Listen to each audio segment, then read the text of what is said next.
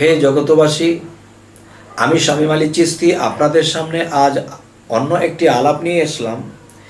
সে আলাপটি হলো, এই পৃথিবীতে মানুষ যখন আল্লাহর ইবাদত করে, তখন দেখা যায় তারা অগ্রসর হইতে পারে না, মন ঠিক থাকে না, বিভিন্ন কিছু মনের মধ্যে ঘুরতে থাকে। বিশেষ করে মানুষের মধ্যে যে ছয়টা রিপু আছে, এই ছয়টা রিপুর নাম কি?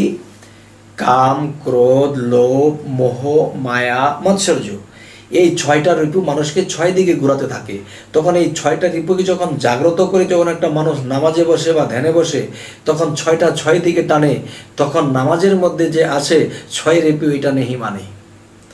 তবে হে জগতবাসী এই ছয়, ছয়টা রিপুর মধ্যে কোন রিপুটা হলো ছয় জনের মাস্টার একজন, সে হলো কাম রিপু।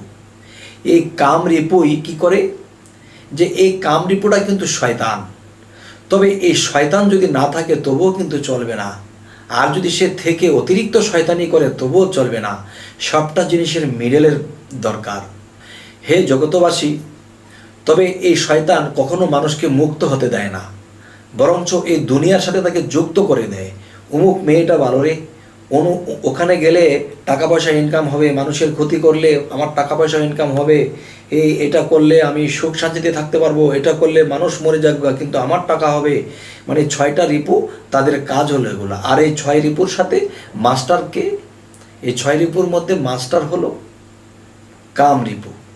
এই কাম রিপু যেমন ক্ষতিকারক, তেমনি উপকারকারক। তা কি করে? যেমন একটা শিশু বাচ্চা, তিন বছর, চার বছর বয়স, তার কিন্তু কাম শক্তি নেই, তার মধ্যে শয়তানি শক্তি জাগ্রত নেই। আচ্ছা তখন কি সে কিন্তু ভালো মন্দ বোঝে না, এটা করলে আমি উপকার পাবো, এটা করলে আমার হাতে দুনিয়াবি ধন সম্পদ হবে, সেটা করলে ভালো হবে, সেটা হলে খারাপ হবে, এই ভালো মন্দর জ্ঞান তার মধ্যে নেই, সে চকলেট পেলেই খুশি। তার মানে সে লোভও বোঝে না, সে ভালো মন্দ কিছু বোঝে না, যেভাবে চালায়, যেভাবে বলে, এভাবেই চলে। তাহলে তার মানে বোঝা গেল তার মধ্যে যে আল্লাহ পরম সত্তা আছে, তা জাগ্রত নয়। এবং তার মধ্যে যে শয়তান আছে, সেটাও জাগ্রত নয়। জাগ্রত না হওয়ার ফলে তিনি অবুঝ তবে যতদিন পর্যন্ত একটা মানুষের মধ্যে সে কাম শক্তি না আসতেছে, ততদিন পর্যন্ত তিনি ভালো মন্দর পার্থক্য করতে পারবে না। তবে দেখা গেছে, তিন বছর, চার বছর একটা শিশুকে বলি, বাবু, তুমি হাফ প্যান্ট পরো, তুমি শরীরটাকে পরিষ্কার রাখো চেহারা ফ্রেশ করে রাখো, এভাবে নোংরাভাবে থেকো না। সে মাটিতে গড়ায় সে যেভাবে খুশি সেভাবে চলতে থাকে।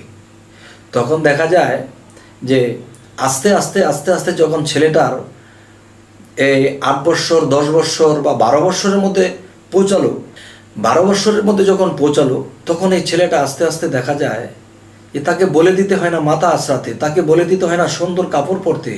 আস্তে আস্তে যখন ষোলো বছরের মধ্যে পৌঁছাতে লাগল, তখন আস্তে আস্তে তার মধ্যে দেখা যায় যে তার মধ্যে সে কামের যে একটা শক্তি আস্তে আস্তে আসতে শুরু করল। তখন সে ভালো মন্দ পার্থক্য করতে পারে। এটা ভালো, এটা মন্দ। এটা খুব সুন্দর। একটা মেয়ের দিকে তাকালে তার ভিতরে একটা ইয়ে জাগে যে মেয়েটা কত সুন্দর। এই সুন্দর বা এরকম বোঝার শক্তি আগে ছিল না, এখন কেন হলো? এখন তার মধ্যে কাম এসেছে। তার মানে কামের পাশাপাশি তার মধ্যে জ্ঞান এসেছে। তখন জ্ঞান আর কাম ভালো এবং মন্দ দুটোই তার মধ্যে কাজ করতে শুরু করেছে। তাহলে বোঝা গেল, এই কাম শক্তি যখন মানুষের মধ্যে আসতে শুরু করেছে, তখন তার জ্ঞান এবং ভালো এবং মন্দ তার মধ্যে প্রকাশ পাইতে শুরু করিয়াছে। তখন আস্তে আস্তে তার যখন আঠারো বছর হয়ে যায়, তখন সে সম্পূর্ণ ভালো মন্দ যাচাই করে চলতে পারে। তবে বোঝা গেল, যখন কামের আকৃষ্ট শয়তানি শক্তি যে জিনিসটা, কামের সাথে মিশ্রিত রক্তের সাথে ওঠা বসা করতে শুরু করে, তখন তার মধ্যে আসে যে আমি একদিন বিবাহ করব, আমি একদিন বড় হব, অনেক উন্নতমান হব, এমন কিছু কাজ করতে থাকে। তখন বোঝা গেল কি, যে এই কাম শক্তির কারণেই তার জ্ঞান বুদ্ধির প্রখরতা হয়েছে, আবার এই কাম শক্তির কারণেই সে আবার ভালো থেকে মন্দটার দিকে নজর করতেছে, ভালো দিকে নজর করতেছে, মন্দটার দিকে নজর করতেছে, যখন মন্দের ভাগ বা কামের ভাগ তার মধ্যে বেশি আসতে শুরু করেছে, তখনই দেখা যায় সে আর ভালো পথে থাকে না। সে খারাপ দিকে চলে যায়। তখনই দেখা যায়, হে জগতবাসী যে একটা মানুষ যখন অতিরিক্ত কামের দিকে মনটা অগ্রসর হয়ে যায়, তখন সে মেয়েদের পিছিয়ে ঘুরতে শুরু করে। তখন মেয়েদের পিছনে ঘুরতে থাকে, তো বাবা মা তাকে টেকেল দিয়েও রাখতে পারে না।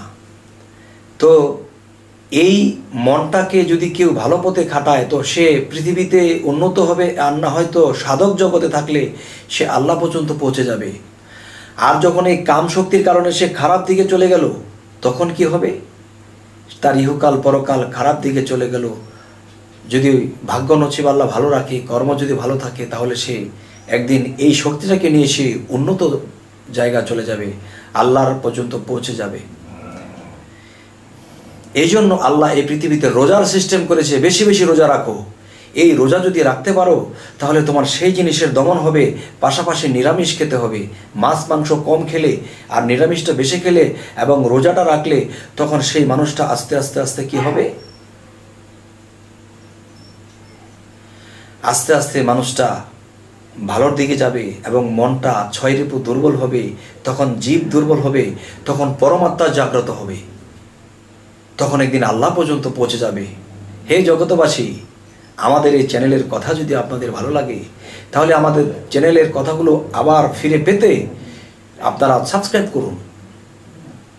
বাদ বাকি ভিডিওগুলো পেয়ে যাবেন ইনশাল্লাহ তো আজ এই বলেই রাখছি, সকলেই ভালো থাকবেন। আল্লাহ হাফেজ।